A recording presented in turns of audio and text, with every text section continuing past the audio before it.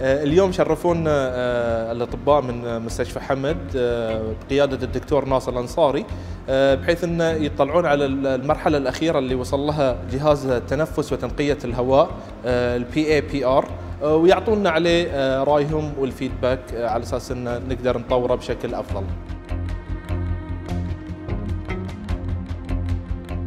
أخذنا الجهاز من مستشفى حمد قمنا بفتح هذا الجهاز تفكيك الجهاز لأنه الجهاز يحتوي على جزئين جزء ميكانيكي وجزء يعني إلكتروني.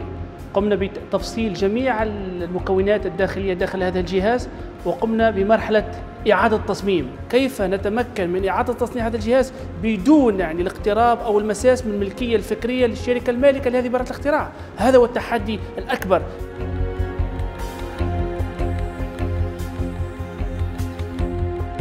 النادي العلمي ما شاء الله من السباقين في هالموضوع انه يشوفون شنو المشكلة؟ إحنا نقدر نسوي نفس الأمور حتى ان ما نعتمد على يعني الخارج على طول. وهذا شيء ما شاء الله عليهم يعني هم سباقين فيها ونشكرهم عليه الشكر الجزيل.